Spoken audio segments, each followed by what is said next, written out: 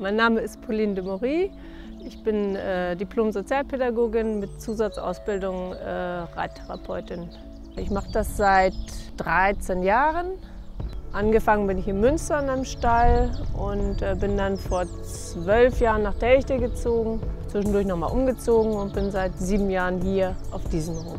Mein Hauptaufgabengebiet ist äh, das Emotionale, das äh, äh, Verhalten äh, und der Bereich Psychiatrie für Erwachsene. Und ähm, geistig Behinderte habe ich auch, Kinder mit Verhaltensauffälligkeiten, mit Schwier Konzentrationsschwierigkeiten. Ich würde sagen, der Unterschied zu, einer, zu anderen Therapieformen ist natürlich, dass man mit dem Pferd arbeitet, also dass es ähm, sich vielleicht nicht ganz so wie Therapie anfühlt. Also viele ähm, äh, viele Klienten von mir äh, sind manchmal auch ein bisschen therapiemüde, gerade Kinder, die man von einer Therapie zur anderen schleppt, äh, die dann irgendwann äh, vielleicht ja nicht mehr so Lust zu haben. Ähm, und wenn die zu mir kommen, das ist erstmal Reiten. Dann ist es sehr ganzheitlich. Also wir haben den physischen Aspekt natürlich, den kann man nicht, äh, der ist einfach da, auch wenn ich jetzt keine Physiotherapeutin bin.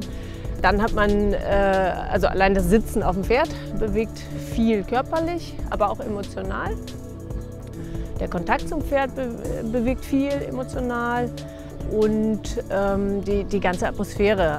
Ja, das Schöne bei mir ist, dass es keine typische Therapiestunde gibt. Also ich äh, arbeite sehr ähm, klientenorientiert. Also ich ähm, ich schaue sehr genau, was braucht die einzelne Person, wo hat sie Probleme, was möchte sie äh, erreichen mit dem Pferd. Da sind Erwachsene natürlich äh, oft so ein bisschen problembewusst, dass sie sagen, ich habe da und da Schwierigkeiten und ich möchte gern da und daran arbeiten. Kinder sagen eher, ähm, ne, ich will reiten, ich will galoppieren, ich will äh, ein Pferd begrüßen, putzen. Da machen wir was mit dem Pferd, das ist sehr unterschiedlich, ob wir äh, drauf reiten. Manche machen auch nur am Boden was oder wir gehen spazieren oder da, da sind sehr viele Möglichkeiten und am Schluss wird es äh, belohnt und wieder äh, entlassen. Genau. Da ich auch sehr stark mit der Beziehung zum Pferd arbeite und einem Beziehungsaufbau zu mir und zum Pferd ähm, und gerade im psychiatrischen Bereich äh, viele Menschen auch sehr, sehr lange brauchen, bis sie Vertrauen fassen, bis sie äh, Situationen einschätzen können. Ich Zeit brauche, bis ich die Person äh, einschätzen kann. Ähm, Finde ich je länger, desto besser. Manchmal merkt man, auch gerade bei Kindern, die entwickeln sich weiter und dann sage ich irgendwann, gut, entweder gehen sie in eine Reitschule und lernen dann halt reiten, wenn sie ähm, da wirklich Spaß dran haben, oder die machen was anderes.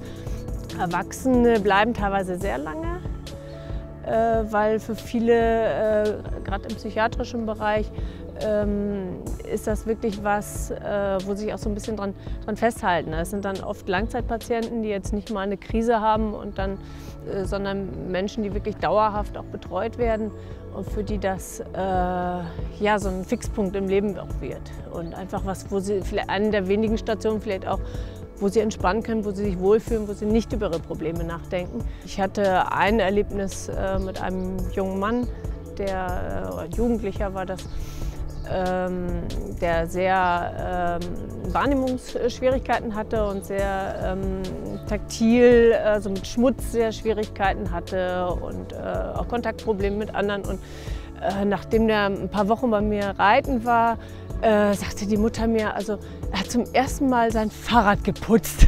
also weil er wirklich so eine äh, Aversion hatte gegen diesen äh, Schmutz und sich die Hände schmutzig zu machen.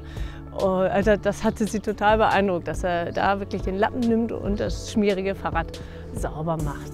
Es ist eine subtile Arbeit, aber ähm, es ist, sind Bausteine äh, zur Persönlichkeitsentwicklung, dass das Menschen einfach ähm, sich weiterentwickeln, dass sie Fähigkeiten an sie entdecken, die sie ohne das Pferd vielleicht nicht so äh, entdeckt hätten.